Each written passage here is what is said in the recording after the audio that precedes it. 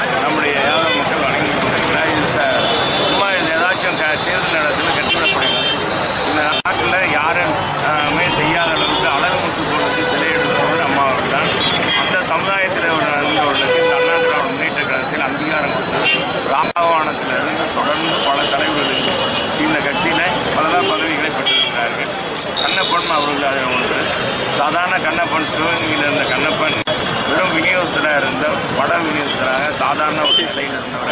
இன்னைக்கு இந்த அளவுக்கு செய்விக்கிறது அண்ணா திராவிட முன்னேற்ற கழகம் தான். ஏன் அவர் பதவிக்காக பதவிக்காக பதவி கிடைக்கல அப்படின்றக்காக போகிறவர் ஒன்றரை கோடி தொண்டர்கள் யாருடைய எத்தனை தொண்டர்கள் இதில் பதவிக்கு வந்திருக்கிறாங்க? ஒரு பதவி கிடைக்கவில்லை என்றால் ஒரு கட்சி மாறுவது என்பது அவருக்கு வழக்கமான ஒன்று. அவரை அந்த சமுதாயம் புறந்தள்ளி விட்டது என்பதுதான் நிதர்சனமான ஒன்று ஏங்க ராஜகண்ணப்பனை புறந்தள்ளி விட்டார் அந்த சமுதாயம். அவர் பதவிக்காக திமுகவில் சேருவார் அப்புறம் தனி கட்சி ஆரம்பிப்பார் அப்புறம் த- திமுகவில் சேருவார் அப்புறம் அண்ணா திமுகவில் சேருவார்.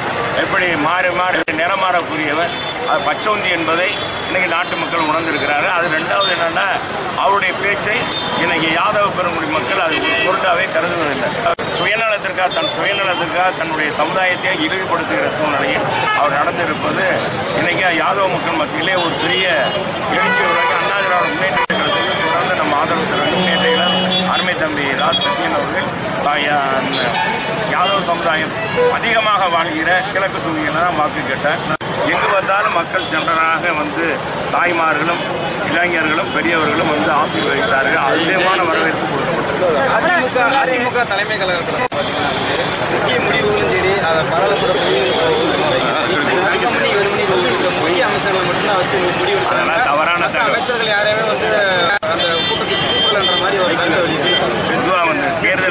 பல கட்சிகள் அதிமுகவுடைய திராவிட முன்னேற்ற கழகம் ஆட்சியில் குறையா எங்களுடைய வேட்பாளர் தவறு எங்கள் வேட்பாளர் பற்றி குறை சொல்கிறார்களா இந்த அண்ணா திராவிட முன்னேற்ற கழகம் ஆட்சி நடந்து கொண்டு கடந்த எட்டு ஆண்டுகளில் தமிழக மக்களுக்கு எண்ணற்ற திட்டங்களை செயல்படுத்தியிருக்கிறது மாண்பு அம்மா இல்லாத சூழ்நிலை இடைநீர் தேர்தலிலும் அண்ணா திராவிட வெற்றி அண்ணா திராவிட முன்னேற்ற கழகம் மாபெரும் வெற்றி பெறும் என்று மக்களுடைய ஆதரவை பார்த்து இன்னைக்கு எல்லோரும் மிரண்டு போயிருக்கிறார் இன்னைக்கு திமுக தலைவர் ஒருபடி மேலே போய் பயந்து எந்த இடத்துல எதை பேசுவதுன்னு கூட தெரியாத அளவுக்கு இன்னைக்கு உளறி கூட்டி கொண்டிருக்கிறார் எனவே அந்த மாதிரி சூழ்நிலையில் இந்த இயக்கத்திற்கு ஏதாவது ஒருத்தர் சொல்வார்கள் ஏதாவது குறைக்கு மேலூர்ல முழுக்க ஓரளவு எல்லாம் ஒரு நைன்டி பர்சன்ட் முடிச்சுட்டேன் எல்லா இடங்களிலும் போய் வாக்கு கேட்டிருக்கிறேன். அதே மாதிரி கிழக்கு தொகுதியிலும் வாக்கு கேட்டிருக்கிறேன். கிராமப்புறங்கள். இந்த கிராமப்புறங்கள்லாம் பார்த்தா எங்கு பார்த்தாலும் சரி மக்கள் ஏகோபித்த வரவேற்பை அருமை தம்பி ராசத்தியனுக்கு கொடுத்திருக்கிறார்கள்.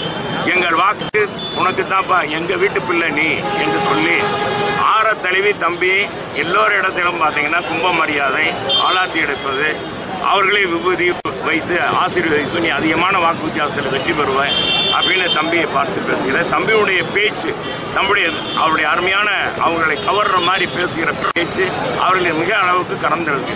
இப்படியெல்லாம் பேசுகிறார் இவர் தான் நாடாளுமன்றத்துக்கு அனுப்பணும்னு சொல்லி இன்னைக்கு மக்கள் முடிவெடுத்திருக்கிறார் அது குறிப்பாக கிராமப்புறம் இன்னைக்கு நாங்கள் சென்ற பகுதியெல்லாம் பார்த்து தான் மாண்பு அம்மா அவர்கள் நூற்றி முப்பத்தாறு அடி முல்லை பெரியார் அணை நூற்றி முப்பத்தாறு அடி தண்ணீர் இருந்ததை நூற்றி நாற்பத்தி ரெண்டு அடியாக உயர்த்தி சட்ட போராட்டம் நடத்தி வெற்றி பெற்றதை கூட திமுக அரசு காங்கிரஸ் அரசும் செயல்படுத்தாமல் இருந்தது. மீண்டும் அம்மா வந்து ஆட்சிக்கு வந்த பிறகுதான் அதை செயல்படுத்தி காட்டினார்கள்.